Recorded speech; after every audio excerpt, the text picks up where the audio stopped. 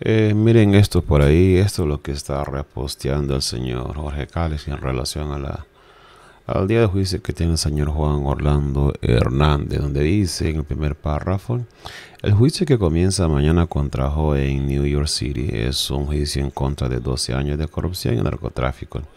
A la vez es un llamado de atención y la reflexión para este gobierno y los futuros para que sepan que puedan utilizar el poder para violar la constitución y las leyes, pero que al final la justicia se justicia, la justicia siempre llega. Dice para este gobierno. Él es parte de este gobierno. Él fue electo. Y militando para este gobierno, pues él habló como que él fuera, bueno, él habló como que estuviera fuera del mismo. Y en el último párrafo dice, espero que todos los corruptos y narcos, sin distingo de colores políticos, se apuran en la cárcel restos de hondureños a trabajar para construir el país de oportunidades que todos soñamos y merecemos. Esto fue lo que dijo el señor Jorge Calix, pero escuchemos cómo le eh, responde un oyente de una forma bien sabia. Eh, donde dice, bueno, con esto dice Unreal Gerard.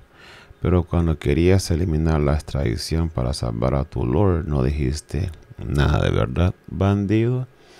Y aquí está el señor Calix acá con el señor Juan Orlando Hernández en una fotografía y la par pues señor Tomás Zambrano como eh, siempre. Entonces, eh, y más adelante acá Catherine eh, dice, mm, el que quería la presidencia del Congreso con el apoyo del partido patrocinador del narcotráfico en Honduras. En fin, la hipotenusa.